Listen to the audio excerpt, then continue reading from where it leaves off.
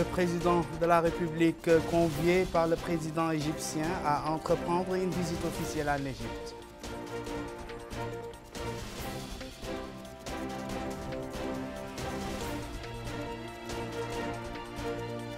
Le Conseil des ministres adopte le projet de loi de finances du budget de l'État pour l'année 2020.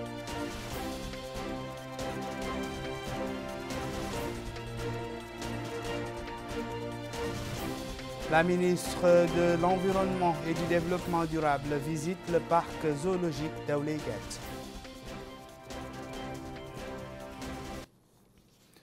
Mesdames et messieurs, bonsoir et merci de nous accueillir chez vous. Le président de la République, Mohamed Oulichek El-Ghazouani, invité par son homologue Abdel Fattah Sisi à visiter l'Égypte. L'invitation a été remise au chef de l'État par l'ambassadeur d'Égypte à Nouakchott, Ahmed Salama, au cours d'une audience à la présidence de la République. Le diplomate égyptien a déclaré à l'issue de l'entrevue qu'il était honoré d'être reçu par le président de la République à qui il a remis une, invitation, officielle de son frère et ami Abdel Fattah Hassisi pour une visite en Égypte. Les résultats du Conseil des ministres réunis ce jour sous la présidence du président de la République, Mohamed Oulcheikh El-Ghazouani, sanctionné par l'adoption du projet de loi de finances du budget de l'État pour l'année 2020. Le Conseil a par ailleurs pris connaissance des stratégies des départements ministériels de l'enseignement supérieur et, des affaires sociales. Et enfin, le président de la République a engagé le gouvernement à mettre en place un mécanisme efficace pour le suivi de la mise en œuvre des plans d'action des différents départements ministériels. Plus de détails dans le communiqué final sanctionnant les travaux du Conseil des ministres avec Mohamed Lamine Bakar. Le Conseil des ministres s'est réuni aujourd'hui sous la présidence de son Excellence M. Mohamed Oul-Sheikh Al-Ghazouani, président de la République. Le Conseil a examiné et approuvé le projet de loi des finances, budget de l'État pour l'année 2020. Le budget de l'État au titre de l'exercice 2020, objet du présent projet de loi, est conçu pour contribuer efficacement à l'atteinte de l'objectif de justice sociale par l'augmentation des dépenses sociales liées à l'éducation, à la santé et à la protection sociale. Il comporte notamment le recrutement d'instituteurs et de professeurs ainsi qu'une augmentation des dépenses de sécurité, de justice et de la décentralisation tout en allouant d'importantes ressources pour la construction, la maintenance et la réhabilitation des infrastructures publiques. Par ailleurs, le dit projet de loi de finances ne comporte pas de mesures fiscales nouvelles, en dehors de la mise à jour de certains articles du Code général des impôts relatifs au taux d'enregistrement, à la valeur faciale du timbre et à la publicité foncière. Le ministre des Affaires étrangères, de la coopération et des Mauritaniens de l'extérieur a présenté une communication relative à la situation internationale. Le ministre de l'Intérieur et de la décentralisation a présenté une communication relative à la situation intérieure. Le ministre des Affaires islamiques de l'enseignement originel a présenté une communication relative à la visite d'information de l'Université des sciences islamiques d'Ayoun et l'inauguration du centre universitaire pour les études de l'extrémisme violent à la même université. Le ministre de l'Enseignement supérieur, de la Recherche scientifique et des technologies de l'information et de la communication a présenté les deux communications suivantes. Communication relative au diagnostic du secteur de l'enseignement supérieur et de la recherche scientifique. Communication relative à la stratégie du département pour la promotion de la recherche et de l'innovation. Ces deux communications établissent le diagnostic de la recherche scientifique et de l'innovation dans notre pays et présentent les grandes lignes d'une vision stratégique à même de permettre la promotion de ces deux secteurs qui constituent des outils indispensables pour la réalisation d'un développement durable. La ministre des Affaires sociales, de l'enfance et de la famille a présenté une communication sur la stratégie nationale de promotion de l'entrepreneuriat féminin en Mauritanie. Cette communication présente les grandes lignes de la stratégie nationale de promotion de l'entrepreneuriat féminin en Mauritanie. La dite stratégie prône le développement des activités génératrices de revenus au profit des femmes et des jeunes filles à travers la mise en place de projets et programmes de développement de la maison de l'entrepreneuriat, des accompagnements de proximité et des mécanismes de financement appropriés. Clôturant les travaux, Son Excellence le Président de la République a instruit le gouvernement à l'effet de mettre en place un mécanisme efficace pour le suivi de la mise en œuvre des plans d'action des différents départements ministériels. Enfin, le Conseil a pris les mesures individuelles suivantes. Ministère des Finances, cabinet du ministre, conseiller, Ali Teis. Ministère de la Santé, cabinet du ministre, chargé de mission, professeur Cheikh Baïm Khaytrat, professeur universitaire précédemment inspecteur général. Docteur Sidi Mohamed Lagdaf, médecin spécialisé en santé publique, précédemment directeur de la lutte contre la maladie. Docteur Mohamed Wadadi, médecin expert en santé publique, précédemment chargé de mission. Docteur Moussa Abdallahi, médecin dentiste, expert en santé publique, précédemment chef des services de la surveillance épidémiologique. Conseiller chargé de la communication, M. Abdelkader Ahmed, professeur technicien de santé, précédemment conseiller chargé de la communication, inspecteur général de la santé, Dr Ahmed Mohamed Ahmed, médecin de santé publique, précédemment inspecteur au ministère de la Santé, coordinateur de la cellule de planification et de la coopération, Dr Diop Cheikh Oumar, dentiste médecin de santé publique, précédemment directeur adjoint de la planification et de la coopération, coordinateur de la cellule de passation des marchés, Mohamed Mahmoud Mouss, ingénieur spécialiste de la passation des marchés, précédemment chef de service de passation des marchés au ministère de la Santé. Administration centrale, direction générale de la santé, directeur général, Dr Sidi Zahav, médecin de santé publique, précédemment au cadre à l'UNICEF à Nouakchott. Direction des maladies transmissibles, directeur Dr Khan Mustafa, médecin de santé publique spécialisé en nutrition, précédemment directeur adjoint du centre de cancérologie. Direction de la santé de la mère et de l'enfant, directeur Dr Diagana Moussa, pédiatre spécialisé en nutrition et santé publique, précédemment chef du service de la nutrition au ministère de la Santé. Direction des maladies non transmissibles, directeur Dr Mohamed Mahmoud Ahmed, médecin généraliste précédemment Dras du Gorgol. Direction générale des ressources, directeur général Bouna El Qutb, spécialiste en gestion des projets précédemment DAF au ministère de la Santé. Direction des ressources humaines, directeur ressources humaines, Cheikh Bay Cheikh Abdallahi, professeur expert en gestion des ressources humaines, précédemment professeur en gestion des ressources humaines, chef du département management à l'ISCA. Direction des infrastructures, équipements et maintenance, directeur Mohamed Mohamedou El Yazid, ingénieur d'État en génie civil, précédemment directeur des infrastructures et de la maintenance.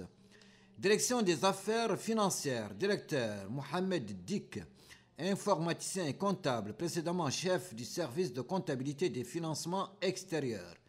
Direction générale de la régulation, de l'organisation et de la qualité des soins. Directeur général, Dr Ali Shebani, médecin de santé publique, précédemment directeur adjoint des soins de base. Direction des affaires juridiques, directeur Mohamed Lemine Abdarrahman, professeur en droit précédemment conseiller juridique.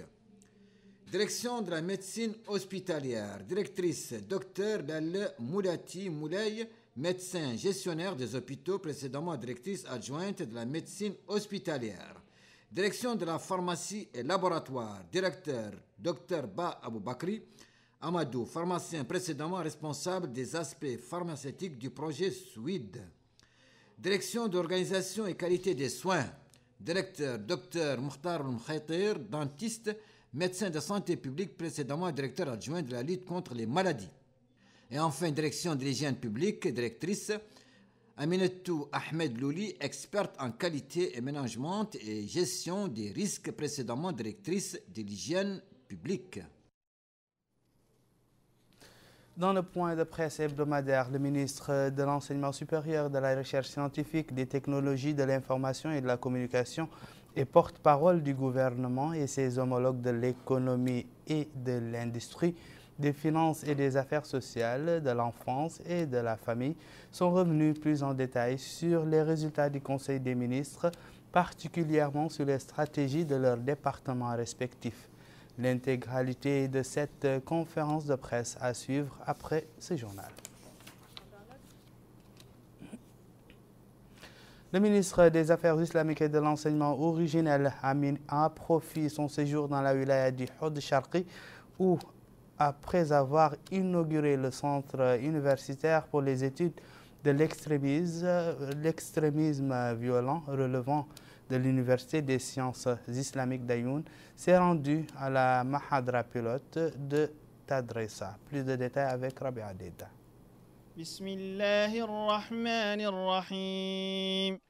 يا أيها الذين آمنوا إن كثيرا من الأحبار والرهبان ليأكلون أموال الناس بالباطل ويصدون عن سبيل الله Voici un élève de la Mahadra pilote de Tadrissa pour l'arrestation du Saint-Coran relevant de la commune de Tarjert de la wilaya du Hod al-Qarbi. Le ministre des Affaires islamiques et de l'enseignement originel, Dahoul Sidi Lamar Talib, s'est rendu au niveau de cette Mahadra pour s'enquérir des conditions d'enseignement de celle-ci.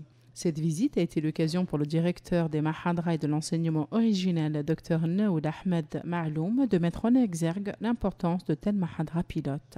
Pour sa part, le chef de la Mahadra, Mohamed Bab Oudali Saleh, a saisi l'occasion pour remercier le gouvernement pour l'intérêt accordé aux Mahadra et à leurs élèves. S'exprimant pour l'occasion, le maire de la commune d'Arjert, Ahmed Hassan Hamoud, a précisé que le rendement de cette Mahadra pilote va permettre un rayonnement culturel de toute la zone. Le ministre des Affaires islamiques et de l'enseignement originel a pu suivre par la suite des séances de récitation du Saint-Coran exécutées par les élèves de la Mahadra. Sa collègue de l'environnement et du développement durable se trouvait, elle, hier à Ouligat. C'est dans le Trarza qui abrite le parc zoologique renfermant certains animaux menacés de disparition. Et c'est un compte-rendu d'Aminata Khan. Le parc d'Aoulegat, situé dans la Muqata'a de Wadnaga, relevant de la wilaya d'Uxar, a été créé en juin 2016 sur une superficie de 1500 hectares dans la commune qui porte son nom. Il est une réponse du gouvernement aux défis climatiques et de conservation de la biodiversité dus aux multipressions à la fois naturelles et anthropiques. Sa mission essentielle est la création d'un complexe phytozoologique pour conserver et mener des études scientifiques d'élevage ex des espèces de la faune sauvage et de la flore, en plus de la communication, de l'éducation environnementale et de la sensibilisation du grand public. Le déplacement de la ministre de l'Environnement et du Développement durable lui a permis de visiter les bâtiments administratifs du parc, sa pépinière pour la culture fourragère et des espèces de ses occupants.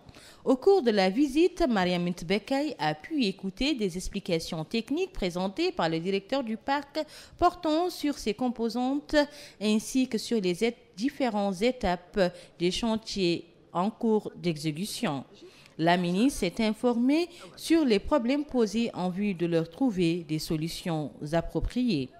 La ministre a indiqué à l'issue de sa visite que le parc d'Aulegat revêt une importance capitale par son caractère touristique avant d'appeler à sa protection pour assurer le retour des espèces animales et végétales qui ont disparu ou sont en voie de disparition. Ajoutons que l'État a dépensé d'importantes sommes d'argent pour réaliser ce joyau avant d'exhorter la conjugaison des efforts de tous les acteurs visant à la réalisation des objectifs pour lesquels il a été créé ce pays qui fait face à plusieurs défis environnementaux et climatiques. La ministre a enfin insisté sur la vulgarisation de la culture de l'éveil, tout comme elle a invité à la redynamisation du tourisme environnemental chez les jeunes avant de souligner l'importance de la conservation de la biodiversité biologique. À noter que le parc dispose d'un écosystème exceptionnel constitué de différents biotopes et d'un couvert végétal à la strate ligneuse et herbacée.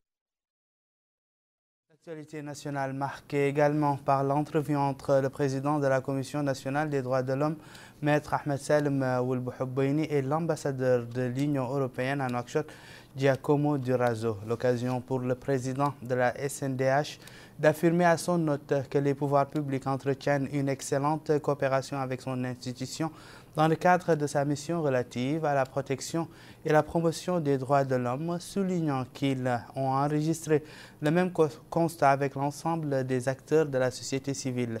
La CNDH, a dit son président, voudrait s'assurer de l'appui de ses partenaires et de leur rapport positif et ce au moment où elle entreprend une grande campagne à l'intérieur du pays afin de vulgariser les droits de l'homme et la mobilisation en leur faveur de son, de son côté. L'ambassadeur de l'Union européenne dans notre pays s'est félicité de cette vision qu'il a qualifiée de pragmatique adoptée par la Commission nationale des droits de l'homme et de la confiance dont elle jouit. Il s'est par ailleurs félicité du climat général que connaît le pays après sa rencontre avec le président de la République.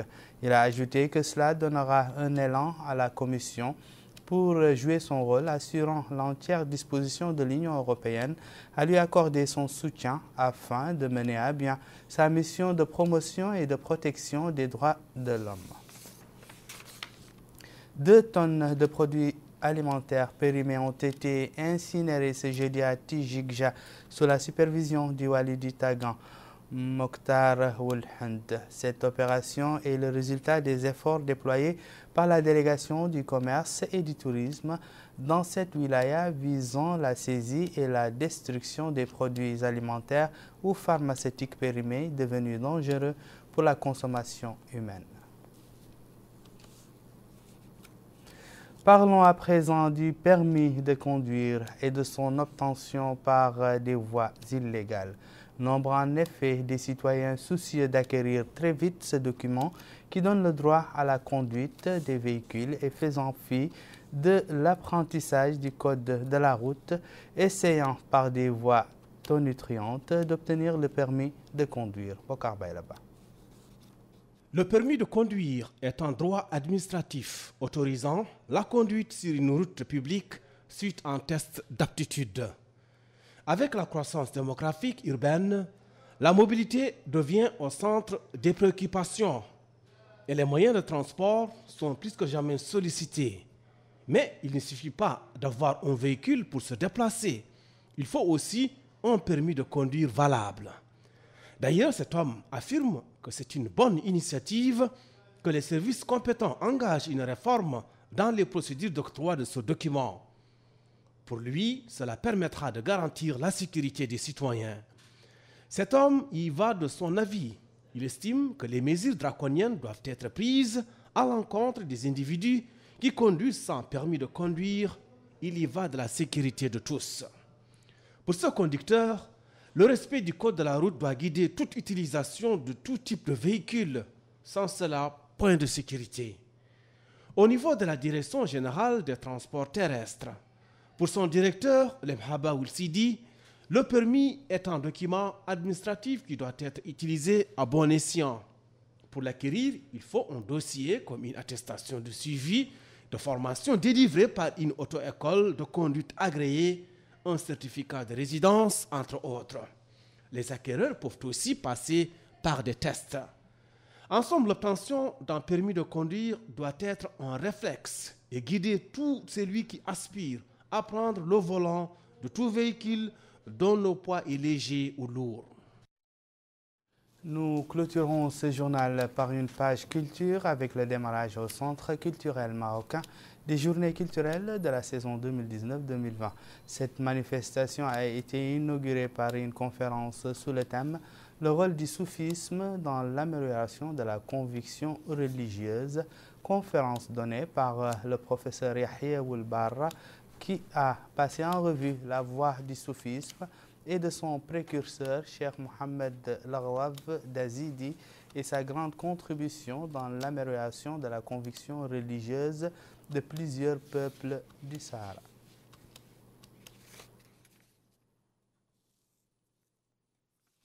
Voilà, c'est la fin de ce journal, rappel des titres le président de la République convié par le président égyptien à entreprendre une visite officielle en Égypte.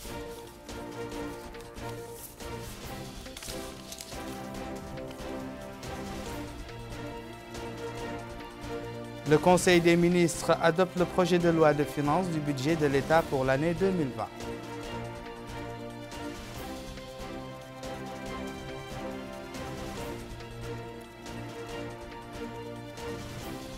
La ministre de l'Environnement et du Développement durable visite le parc zoologique d'Aoulégat.